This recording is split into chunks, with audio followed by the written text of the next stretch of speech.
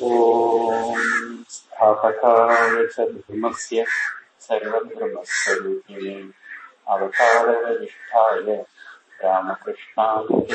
നമ കരിങ്കുഴല്ല വീതു തൊങ്കും കൺകളിൽ കരുണ പൊങ്കും അരുങ്കുണനാണം ഓങ്കും ആടയും തലമേൽ വാങ്കും കരങ്കളിൽ വളകൾ തങ്കും കർപ്പി പൂവിൻ ശരം കൊടുക്കാമൻ തീണ്ട ശാരദാന്നൈ വാഴ്ക நம ஸ்ரீயதிராஜாய விவேகானந்த சூரையை சச்சித் சுகஸ்வரூபாய சுவாமினே தாபஹாரிணே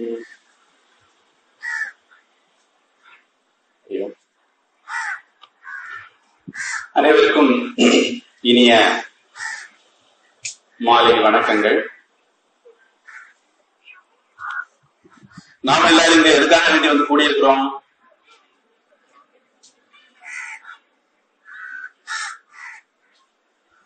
என்ன சொல்லி கூட்டிட்டு வந்தாங்க கோகுல அஷ்டமி. இங்க கொஞ்சம் பேரு குழந்தைகள் கிருஷ்ணனால வேஷம் போட்டிருக்காங்க. கோகுல அஷ்டமிக்கு கிருஷ்ணனா வேஷம் போடுவானே. கோகுலம்ங்கிறதுலயே அஷ்டமிங்கிறதுலயும் கிருஷ்ணன் இல்லையே.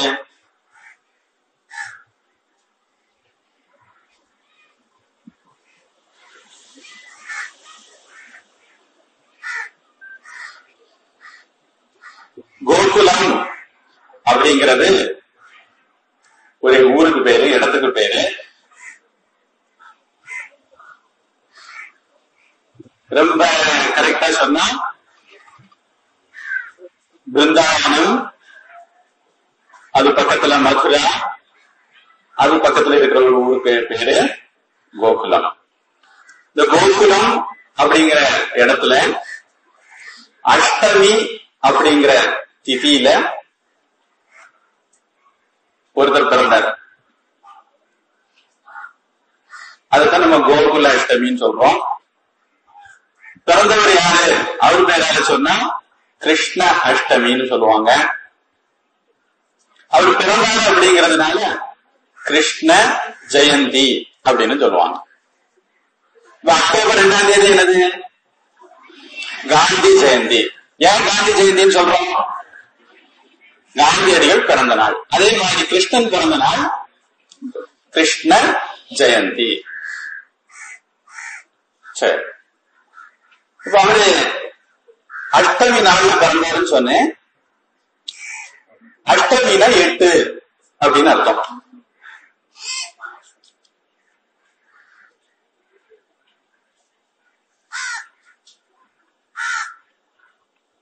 ஒரு பாடல் கூட உண்டு உங்களுக்கு எல்லாம் தெரியும் நினைக்கிறேன். ராமன் பிறந்தது நவமியிலே. நட்ட நடுப்பகல். அப்புறம் கண்ணன் பிறந்தது அஷ்டமியில்.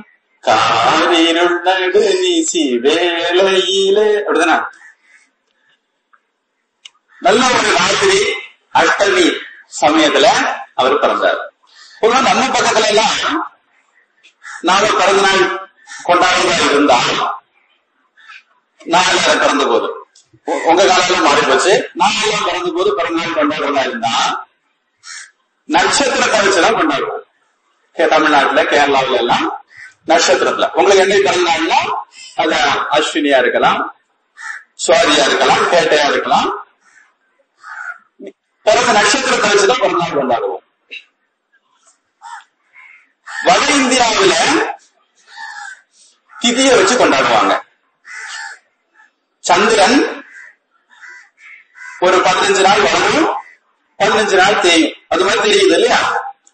அந்த மாதிரி ஒரு நாட்களை ஒன்னு ரெண்டு மூணு அப்படின்னு ஒண்ணுன்னா பிரதமை ரெண்டுன்னா திதியை மூணுன்னா திருத்தியை. சதுர்த்தி பஞ்சமி ஷஷ்டி சப்தமி அஷ்டமி நவமி தசமி ஏகாதசி துவாதசி திரையோதசி அது கூட எனக்கு வரல இல்ல. அதனால கை காட்டல. அப்புறம் பஞ்சதசி அப்படின்னு சொல்ல மாட்டாங்க. அன்னைக்கு பௌர்ணமி அமாவாசைன்னு சொல்லிடுவாங்க. இப்படி சந்திரன் வளரும் போது ஒரு பதினஞ்சு நாள் தேயும் போது ஒரு பதினஞ்சு நாள். ஆக மொத்தம் முப்பது நாள் ஒரு மாசம். இப்ப இங்க பேசும்போது சொன்னாங்க ஆவணி மாசம் ரோகிணி நாள்ல கண்ணன் பிறந்தானா. அப்படின்னு அப்படிதானா? அப்படி பாட்டுருக்கு இல்லையா ஆவணி மாத ரோஹிணி நாளில் கண்ணன் பிறந்தானா மணி வண்ணன் பிறந்தானா அப்படி பாட்டுருக்கு கேட்டீங்களா இல்ல. இப்ப என்ன மாசம் நடக்குது? யாருக்கு தெரியும்? ஏனப்பா எவ்வளவு புத்திசாலி குழந்தைங்க இருக்கீங்க. நான் நினைச்சேன் உங்களுக்கு ஆகஸ்ட் தான் சொல்ல வரும் ஆயிரம் சொல்ல வராதுன்னு நினைச்சேன். நீங்க ரொம்ப புத்திசாலியா இருக்கீங்க. இப்போ தமிழ் மாசம் நம்முடைய மாசம் என்ன நடக்குதுன்னா ஆயுள் மாசம் நடக்குது. அப்ப அந்த ஆவணி மாசம் ரோகிணி நட்சத்திரத்துல கிருஷ்ண ஜெயந்தின்னு சொன்னாங்க. இப்ப ஆடி மாசம் தானே நடக்குது? அப்படின்னு யாருக்காவது சந்தேகம் வந்தா ஒரு டீச்சருக்கு அழகு என்ன அப்படின்னா பிள்ளைங்களுக்கு சந்தேகம் அவருக்கு முன்னாடி அவருக்கு வந்துடணும். அவரே கேள்வி கேட்டு பதிலும் சொல்லிடணும். அதான் டீச்சருக்கு அழகு அதனால உங்களுக்கு சந்தேகம் வந்திருக்காது. ஆனா வீட்டுல போய் திடீர்னு ராத்திரி படுத்திருந்து நீங்களா வந்து நினைச்சு கல்யாணம் பண்றது போய் ஞாபகம் வந்துருக்கு கேள்வி என்ன பண்றது? அப்ப நான் இருக்க மாட்டேன் பதில் சொல்றதுக்கு. டீச்சரும் பக்கத்துல இருக்க மாட்டாங்க. அதனால பதில் நானே சொல்லிடுறேன். நம்ம நாட்டுல நாள் கணக்கு போடுறதுல பல விதம் இருக்கு. முதல்ல கொஞ்சம் பெரிய பிள்ளைங்களா இருக்காங்க. அவங்களுக்கு சில பரீட்சை ஒரு நாள் அப்படின்னா எப்படி கணக்கு போடுவீங்க?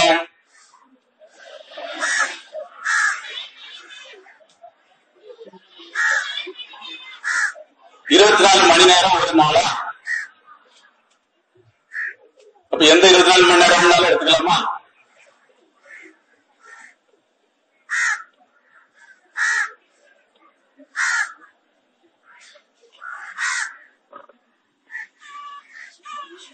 இரவும் பகலும் சேர்ந்தது ஒரு நாள். அந்த இரவும் பகலும் சேர்ந்து இருபத்தி ஆகுது. அவ்வளவுதான். ஒரு இரவு ஒரு பகல் சேர்ந்ததுன்னா ஒரு நாள். போனோம்னா எப்படி அதிகாலையில சூரிய உதயத்திலிருந்து நாள் ஆரம்பிக்கும் நாளுங்கிற வார்த்தைக்கே வெளிச்சம்னு அர்த்தம். தின் தினம் அப்படின்னு அர்த்தம் என்று அதுவும் பகல் அப்படின்னு அர்த்தம். வெளிச்சம் தான் அர்த்தம்.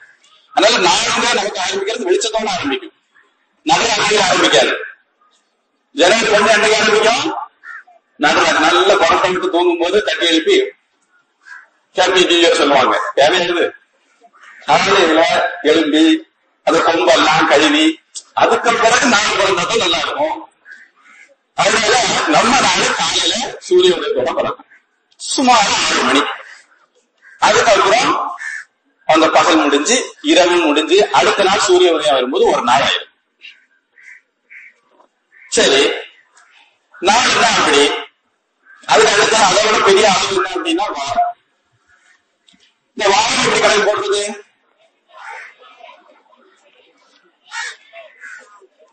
ஏழு நாள் ஒரு வாரம். ஏன் ஏழு நாள் ஒரு வாரம் இருக்கணும் ரவுண்டா பத்து நாள் வச்சுக்கலாமே. கணக்கு போட கஷ்டமா இருக்க. மாத்திருவோமா நீ வேண்டாமா? நம்ம நாட்டுல ஏழு நாள் ஒரு வாரம் கணக்கு வச்சிருக்காங்க. ஏன் அப்படின்னா தினமும் காலையில சூரிய உதய நேரத்துல சில கிரகங்கள் உடைய ஆட்சி இருக்கும். அதாவது வாரத்துல கிரகங்கள் சுழந்து கொண்டே இருக்கும்போது சூரிய உதய நேரத்துல எந்த கிரகம் இருக்கோ அந்த கிரகத்தை வச்சு அந்த நாளைக்கு பேரு. உதாரணத்துக்கு இன்னைக்கு என்ன கிழமை புதன்கிழமை. இன்னைக்கு காலையில சூரிய உதய நேரத்துல புதனுடைய இது தொடங்கி இருக்கும் அத வந்து ஹோரை அப்படின்னு நம்ம சொல்லுவோம். இந்த ஹோரா அப்படிங்கிற வார்த்தையில இருந்துதான் ஹவர் அப்படிங்கிற சம்ஸ்கிருத வார்த்தை வந்தது. மாத்ரு அப்படிங்கிற சம்ஸ்கிருத வார்த்தையில இருந்துதான் மாதா மன்னிக்கணும். மதர் அப்படிங்கிற இங்கிலீஷ் வார்த்தை வந்தது. நான் கொஞ்சம் குழப்பி சொல்லிட்டேன் ரொம்ப குழம்பிட்டேன் நினைக்கிறேன். ஹோராங்கிற சம்ஸ்கிருத வார்த்தையில இருந்து ஹவருங்கிற இங்கிலீஷ் வார்த்தை வந்தது. மாத்ரு அப்படிங்கிற சம்ஸ்கிருத வார்த்தையில இருந்து மாதா நினைக்கணும் மதர் அப்படிங்கிற இங்கிலீஷ் வார்த்தை வந்தது. பித்ரு அப்படிங்கிற சமஸ்கிருத வார்த்தையில இருந்து ஃபாதர் அப்படிங்கிற ஆங்கில வார்த்தை வந்தது. அப்படிங்கிற சமஸ்கிருத வார்த்தையில இருந்து பிரதர் அப்படிங்கிற இங்கிலீஷ் வார்த்தை வந்தது. சொஸ்ரு அப்படிங்கிற சமஸ்கிருத வார்த்தையில இருந்து சிஸ்டர் அப்படிங்கிற ஆங்கில வார்த்தை வந்தது. ஹார்ட் அப்படிங்கிற சமஸ்கிருத வார்த்தையில இருந்து மன்னிக்கணும். அப்படிங்கிற சமஸ்கிருத வார்த்தையில இருந்து ஹார்ட் அப்படிங்கிற ஆங்கில வார்த்தை வந்து. இந்த மாதிரி நிறைய வார்த்தைகள் சமஸ்கிருதத்துல இருந்து ஆங்கிலத்துக்கு வந்திருக்குது. ஒரு உதாரணம் சொல்ல இதே மாதிரி அதிகாலையில எந்த ஹோலை இருக்குதோ அந்த ஹோலை வச்சு அந்த நாளுக்கு பேரு நம்ம நாட்டுல ஞாயிறு திங்கள் சந்திரன் செவ்வாய் புதன் வியாழன் வெள்ளி அல்லது சுக்கிரன் சனி. இப்படி ஏழு கிரகம் கணக்கு எத்தனை கிரகம் உண்டு? எழுதனா? எட்டா? ஒன்பதா? பத்தா? வெள்ளக்காரங்க வெளிநாட்டுக்காரங்க கணக்குப்படி கிரகங்கள் ஒன்பது சொச்சம். அது பத்து பத்தரை பத்தாயிரம் கால் அப்படி சொல்லுவாங்க. அவங்க அந்த காலத்துக்குள்ள போக வேண்டாம். அவங்க எப்பவுமே என்ன பண்ணுவாங்கன்னா கண்டுபிடிச்சுக்கிட்டே இருப்பாங்க. அவங்களுக்கு கண்டுபிடிப்புக்கு முடிவே கிடையாது. ஆனா நம்ம நாட்டை பொறுத்த வரைக்கும் ரொம்ப தெளிவா இருக்கு ஏழு கிரகம் தான் ஏழு தானா அப்படின்னா கண்ணுக்கு தெரிகிறது ஏழு தான் இன்னும் ரெண்டு இருக்கு. அதுக்கு சாயா கிரகம் இப்ப நீங்க எல்லாம் பாருங்க வெயிலுக்கு தப்பிச்சு பாச்சு. இந்த வெ- நிழல்ல போய் உட்கார்ந்துருக்கீங்க இந்த மாதிரி நிழலுக்கு சம்ஸ்கிருதத்துல சாயான்னு பேரு. நிழல் கிரகம். அது ராகு கேது.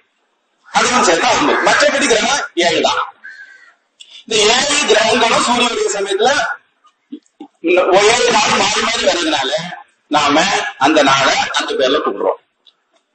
சந்திரன் இருந்ததுன்னா திங்கள் செவ்வாய் இருந்ததுன்னா செவ்வாய் புதன் இருந்ததுன்னா புதன் அந்த மாதிரி. அதுக்கு அடுத்து அதை பெரிய காலம் என்னது? நாளாச்சு வாராச்சு மாசம். இந்த மாசம் எப்படி கணக்கு போடுறோம்? இதுதான் முக்கியமான விஷயம். மாசம் கணக்கு போற விஷயம் அப்படின்னா ரெண்டு விதம் இருக்குதுல்ல சூரியனை வச்சு ஒரு மாசம் கணக்கு போடுவாங்க. சந்திரனை வச்சு ஒரு மாசம் கணக்கு போடுவாங்க. சந்திரன் வளர்ந்து தேஞ்சா ஒரு மாசம் அப்படின்னு கொஞ்சம் பேர் எடுத்துக்கிறாங்க. அது வந்து ஆந்திரா அந்த பக்கத்துல எல்லாம் நம்ம யுகாதின் எல்லாம் லீவு தராங்க நமக்கு? லீவு தரால ஞாபகம் இருக்கு நமக்கு? அந்த நாள் தான். அடுத்தது வட இந்தியாவுல ரிஷிகேஷ் அந்த பக்கம் எல்லாம் என்ன பண்ணுவாங்கன்னா சந்திரன் தேஞ்சு வளர்ந்த பிறகு முப்பது நாள். அப்படி எடுத்துக்குவாங்க. அதாவது அமாவாசைக்கு பிறகு ஒன்னு ரெண்டு மூணு ஆரம்பிச்சா தெலுங்கு மாதிரி இடங்களில் உள்ள காலக்கணக்கு சந்திரன் அடிப்படையா வச்சு பௌர்ணமிக்கு பிறகு தேய்பிரையில ஒன்னு ரெண்டு மூணு அப்படின்னு கணக்கு போட்டு ஆரம்பிச்சாங்கன்னா வட இந்தியாவுல உத்தரகாண்ட் உத்தரப்பிரதேசம் ரிஷிகேஷ் அந்த மாதிரி இடங்கள்ல உள்ள காலக்கணக்கு சந்திரன் வச்சு இப்படி ரெண்டு இருக்கு. சூரியன் வச்சு கணக்கு போடுவாங்க? எப்படி அப்படின்னா சூரியன் ஒரு ராசியில எவ்வளவு நாள் இருக்குதோ அது வச்சு. இப்போ நமக்கு ஆங்கிலத்துல வந்து ஒரு மாசத்துக்கு எவ்வளவு நாள்னா ஈஸியா சொல்லிடுவீங்க. அப்படி கைய வைக்கணும். முப்பது. முப்பதா? முப்பத்தொண்டா முப்பத்தொன்னு. முப்பது முப்பத்தொன்னு முப்பது. அது சொல்லிட்டு போக வேண்டியதா இடத்துல இருபத்தெட்டு வரும் அது கண்டுக்காம இருங்க. இப்படி கணக்கு போட்டுக்கலாம். ஆனா நம்ம நாட்டுல அப்படி முடியாது. நம்ம நாட்டுல எல்லாமே சயின்ஸ் ஏன் இன்னைக்கு புதன்கிழமைன்னா அதுக்கு ஒரு சயின்ஸ் இருக்கு. ஏன் இன்னைக்கு இந்த மாசம் அப்படின்னா அதுக்கு ஒரு சயின்ஸ் இருக்கு. உதாரணத்துக்கு இது கர்க்கடக மாசம் அப்படின்னு மலையாளத்துல சொல்லுவாங்கன்னு நினைக்கிறேன். ஏன் அப்படின்னா நாலாவது ராசியான கர்க்கடக ராசியில சூரியன் இருக்கு. இன்னைக்கு வரைக்கும் இருக்கு. நாளைக்கு அவர் இடம் மாறிடுவார். இன்னைக்கு கடைசி நாள். அதனால ஒரு ராசியில சூரியன் எத்தனை நாள் இருக்குதோ அத்தனை நாள் அந்த மாசத்துக்கு அது இருபத்தி ஏழு நாள் இருந்தா இருபத்தி ஏழு நாள் முப்பத்தி ரெண்டு நாள் இருந்தா முப்பத்தி நாள். நமக்கு இப்படி கணக்கெல்லாம் சொல்ல முடியாது. வானத்தை பார்த்து சூரியன் எங்க இருக்குன்னு பார்த்துட்டு தான் சொல்ல முடியும். அறிவியல் பூர்வமா தான் சொல்ல முடியும். குருட்டான போக்குல சொல்ல முடியாது. இப்ப இன்னைக்கு சூரியன் கணக்குப்படி நாலாவது மாசம் நடக்குது. ஆனா சந்திரன் கணக்குப்படி இது அஞ்சாவது மாசம். ஆவணி மாசம்ங்கிறது அஞ்சாவது மாசம். கிருஷ்ண பிறகு தெரியல அடைஞ்சா இல்லையா? கோகுலம் மதுரா பிருந்தாவன்ல டெல்லி பக்கத்துல இருக்கிற இடங்கள்.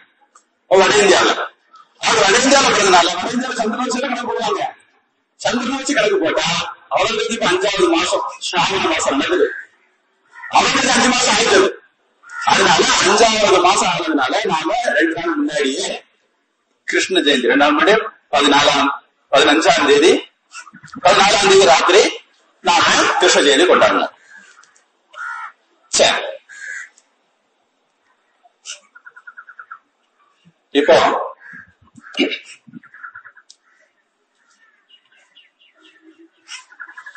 ஒரு குட்டி பையன் பிறந்ததுக்காக வேண்டி உழவு கொண்டாட்டமா அது இந்தியா முழுக்க கொண்டாடுறாங்க நீங்களும் கொண்டாடுவீங்க. நூத்தி இருபத்தஞ்சு கோடி ஜனங்களும் கொண்டாடுறாங்க. ஒரு குட்டி பையனுக்கு இவ்வளவு முக்கியத்துவமா? அப்படி நமக்கு இதெல்லாம் தோணுதா? இல்லையா? ஏன் தோணல?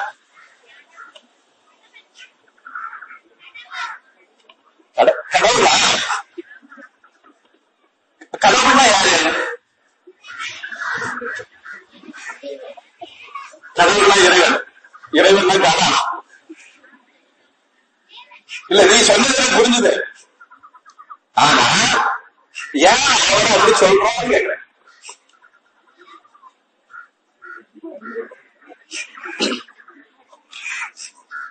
நான் சொல்றேன். நான் சொல்றேன் சரியா தப்பா நீங்க சொல்லுங்க. சரியா? உலகத்துல தன்னுடைய அம்மாவுக்கு எல்லாம் பிடிச்ச பணத்தை இறந்துருக்காங்களா? இருக்காங்களா உங்க அம்மாவுக்கு உங்களுக்கு பிடிக்குமா? உங்களுக்கு உங்க அம்மாவுக்கு பிடிக்குமா? நெஞ்சில கை சொல்லணும். மொபைல் போன் தரப்ப பிடிக்காது. டிவி பார்க்க பார்த்தா பிடிக்காது. நெஞ்சில கை சொல்லுங்க. உங்க அம்மா பிடிக்குமா அப்பா சரி இந்த எல்லாருக்கும் அட்ரஸ் சாதத்தை வாங்கிட்டு போய் எல்லாரும் வீட்டுக்கும் உரம் வரப்போறேன் உங்க குருவா டீச்சரா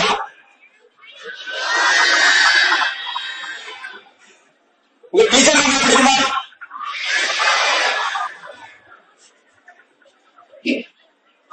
இந்த கிருஷ்ணன் இருக்கிறாங்க இவருக்கு அவருடைய அம்மாவுக்கு அவர் பிடிக்கும் அவர் பெற்றவங்க பேரு தேவகி அவருடைய மருமகங்க பேரு யசோதா அப்புறம் அந்த ஊர்ல இருந்த அத்தனை அம்மா அம்மாவாருக்கும் கோபியர்களுக்கும் அவர் பிடிக்கும் உங்களை உங்க கிளாஸ்ல இருக்கிற எல்லாருக்கும் பிடிக்குமா? நெஞ்சில கை சொல்லுங்க ஆனா கிருஷ்ணனை அவர் பெத்தம்மாவுக்கு பிடிக்கும் வளர்த்த பிடிக்கும் அதுக்கப்புறம் சுத்தி இருக்கிற அம்மாவுக்கு எல்லாம் பிடிக்கும். இப்ப எனக்கு அந்த கோபியர் விளையாட்டு ட்ரெஸ் போட்டு உட்கார்ந்துருக்காங்க. அவர் அம்மாவை விளையாடுறது இத்தனை அம்மாவுக்கு ஒரு செல்ல பிள்ளையா இருக்காரு நமக்கு நம்ம அம்மாவுக்கு செல்ல பிள்ளையா இருக்கிறதே கஷ்டமா இருக்கு. அவர் அந்த ஊர்ல இருக்கிற அத்தனை அம்மாவுக்கு செல்ல பிள்ளையா இருந்தார். பிடிக்கும் அவர் என்ன செய்தார் அம்மா தப்பு செய்யலாம் நல்ல அடி கிடைக்கும். ஆனா அவரே தப்பு செய்தா எல்லாரும் சிரிப்பாங்க. உங்களுக்கு அந்த ஞாபகம் அனுபவம் இருக்கும் உங்க வீட்டுல உங்க தம்பி தங்கச்சி ஏதாவது தப்பு பண்ணா மட்டும் அம்மா ஒண்ணும் சொல்ல மாட்டாங்க. நம்ம செய்தா மட்டும் அடிப்பாங்க. அதான் எனக்கு தெரியும். அது அதே மாதிரி இந்த கிருஷ்ண ஏதாவது பண்ணாருன்னா ஒருத்தர் ஒண்ணுமே சொல்ல மாட்டாங்க. எல்லாரும் நமக்கு பிரியா மேல நீங்களும் உங்க அம்மா அப்பா உங்ககிட்ட பிரியமா இருக்கிற மாதிரி நடந்துக்கிட்டீங்கன்னா உங்க அப்பா அம்மா உங்களையும் ஒண்ணு சொல்ல மாட்டாங்க. பிரியமான பிள்ளை என்ன செய்தாலும் தப்பு இல்லை. அதாவது கிருஷ்ணன் என்ன செய்யறாங்களோ எல்லாருக்கும் பிடிக்கும் எதுவுமே அவருக்கு தப்பு கிடையாது. அப்ப எல்லா அண்ணனுக்கும் அவருக்கு செல்லும் கிடையாது அதுக்கு அப்பா அவருடைய வசுதேவன் அவன் வளர்த்தவன் நந்தன் அதுக்கப்புறம் அந்த ஊர்ல இருந்த மற்ற எல்லா பேருக்கும் அவருக்கு பிடிக்கும். ஆண்கள் பிடிக்கும். அதே மாதிரி அவருடைய குரு அவருக்கும் அப்படித்தான் கிருஷ்ணனை பிடிக்கும். அப்போ கிருஷ்ணனை யாருக்கு பிடிக்காது? யாருக்கெல்லாம் பிடிக்கும் கேள்வி கேட்ட கஷ்டம். விரல கிருஷ்ணனை யாருக்கு பிடிக்காது? அப்படின்னா கணக்கு போடலாம். கம்சனுக்கு பிடிக்காது. விஜயராசந்தனுக்கு பிடிக்காது. சிசுபாலனுக்கு பிடிக்காது. யார் யார் கெட்டவங்களோ அவங்களுக்கு மட்டும்தான் அவரை பிடிக்காது. நல்லவங்க எல்லாருக்கும் அவரை பிடிக்கும். அதனால நமக்கு எல்லா எல்லாரையும் பிடிக்கணும். நம்ம எல்லாருக்கும் பிடிக்கணும் அப்படின்னா கிருஷ்ணன் நமக்கு கத்து வரக்கூடிய பாடம் என்னது? நாமளும் நல்லவங்களா இருக்கணும். கிருஷ்ணர் வந்து வெண்ணை திருடினாரு வெண்ணெய் திருடினாருன்னு சொல்லுவாங்க. அவர் வெண்ணை திருடல. வெள்ளையான உள்ளங்களை திருடினார். நம்முடைய உள்ளமும் வெள்ளையா இருந்ததுன்னா கள்ளங்கவனம் இல்லாம இருந்ததுன்னா பொய் ஏமாத்து பித்தலாட்டம் சூது வாது இதெல்லாம் இல்லாம இருந்ததுன்னா அவர் நம்முடைய உள்ளங்களையும் திருடிக்குவார். சொல்லுவாங்க சிவபெருமானுடைய வாகனம் காளை அந்த காளை வந்து வெள்ளை நிறத்துல இருக்கும். அந்த வெள்ளை எதை குறிக்குது அப்படின்னா தர்மத்தை குறிக்கும். யார் யாரு தர்மப்படி இருக்காங்களோ அவரெல்லாம் அவருக்கு பிடிக்கும். தர்மப்படி வாழ்ந்தவங்க கிருஷ்ணனை தேடி போவாங்க. கிருஷ்ணனே நம்மளை தேடி வந்து தூக்கிட்டு போயிடுவாரு. எப்படி வெண்ணைய தூக்கிட்டு போயிடுறாரோ அதே மாதிரி நமக்கு நல்ல உள்ளம் இருந்ததுன்னா நாம தர்மவனா இருந்தோம் அப்படின்னா கிருஷ்ணனே நம்மளை தேடி வந்து தூக்கிட்டு போயிடுவாரு அதனால அவர் நல்லவனா இருந்தா நல்லவனா இருக்கிறவங்க எல்லாருக்கும் அவருக்கு பிடிச்சது அவருக்கும் நல்லவங்க எல்லாம் பிடிச்சது. ஒரு விஷயம். அதனால நாம எப்படி இருக்கணும்? நம்ம அம்மாவுக்கு நம்மளை பிடிக்கிற நாம எப்படி இருக்கணும்? நம்ம அப்பாவுக்கு நம்மளை பிடிக்கிற நாம எப்படி இருக்கணும்? நம்முடைய டீச்சருக்கு நம்மளை பிடிக்கிற நாம எப்படி இருக்கணும்? அடுத்தது இது மட்டும் காரணம் இல்ல. இன்னொரு முக்கியமான காரணம் இருக்கு. அவருடைய அம்மாவுக்காக செய்ய வேண்டிய கணக்கை நிறைவேற்றினார். அவருடைய அம்மா வந்து சிறையில போட்டிருந்தாங்க. இவர் போய் அவங்களை காப்பாத்தினார். அவங்க அப்பா அம்மா ரெண்டு பேருமே சிறையில போட்டு ரெண்டு பேரையும் காப்பாத்தினார். அவருடைய குருவுக்கு அவருடைய கடனை நிறைவேற்றினார். அவருடைய குருவினுடைய பையனை காப்பாத்தி கொண்டு வந்தார். இப்படி அவர் இருந்ததுனால மாதா பிதா குரு எல்லாருக்கும் அவரை பிடிக்கும். அப்ப நாமளும் என்ன பண்ணணும்? நம்முடைய அம்மாவுக்கு நம்முடைய கடன். நம்முடைய அப்பாவுக்கு நம்முடைய கடன். நம்முடைய ஆசிரியர்களுக்கு நம்முடைய கடன். என்னமோ அத சரியா தீர்த்துட்டோம் நிறைவேற்றிட்டோம் அப்படின்னா அவங்களுக்கு எல்லாம் என்ன செய்யும்? நம்மளை பிடிக்கும். சரி இவங்களுக்கு தான் பிடிச்சது? ஒரு நியாயம் இருக்கு. ஊர் மொத்தத்துக்கு அவங்க பிடிக்குது ஏன்? அப்படின்னா யாருக்கு ஒரு கஷ்டம்னாலும் முதல் ஆளா போய் ஒத்தாசைக்கு இருப்பார். அவருடைய வாழ்க்கையில நிறைய விஷயம் நடந்திருக்கு.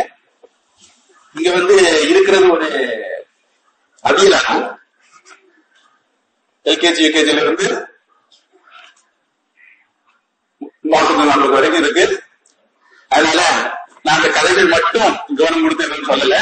ஆனா அவருடைய வாழ்க்கையில சின்ன பிள்ளையில இருந்தே அவரு எப்ப எப்ப எப்படி எப்படி யார் யார காப்பாத்திருக்கிறாரு அப்படின்னு நிறைய கதைகள் இருக்கு. அந்த கதைகள் எல்லாம் நீங்க படிச்சீங்க அப்படின்னா பூதனா சகடாசுரன் மகாசுரன் இப்படின்னு ஒரு பெரிய விஷயம் மத்தவங்களுக்கு ஒரு கஷ்டம் அப்படின்னா அவங்க காப்பாற்றுறதுக்கு முன்னணியில இருப்பார். அடுத்தவங்களுக்கு உதவி செய்யறதே அவருடைய வாழ்க்கையினுடைய ஒரே லட்சியமா இருந்தது. கடைசி வரைக்கும் மகாபாரத யுத்தம் வரைக்கும். அந்த யுத்தம் அவருக்கு எந்த பிரயோஜனமும் இல்லை ஆனா தர்மம் ஜெயிக்கணுங்கிறதுக்காக வேண்டி அல்ல கூட பங்கெடுத்தார். அல்ல கடைசி மூச்சு வரைக்கும் அவர் மற்றவர்களுக்காக வாழ்ந்தார். விவேகானந்த சாமி சொல்றாரு இல்லையா? என்ன சொல்றாரு? யார் பிறருக்காக வாழ்கிறார்களோ அவர்கள் மட்டும்தான் வாழ்பவர்கள். மீதி எல்லாம் நடைபெணங்களுக்கு சமமானவர்கள். அதனால இந்த கிருஷ்ண ஜெயந்தி நாள்ல நாம கிருஷ்ணனுடைய இந்த வாழ்க்கையில இருந்து இந்த ஒரு விஷயத்தை நம்முடைய மனசுல பதிச்சுக்குவோம் நாம் எல்லாம் எப்படி வாழ்வோம்? நல்லவர்களாக வாழ்வோம். மற்றவர்களுக்காக வேண்டி வாழ்வோம்.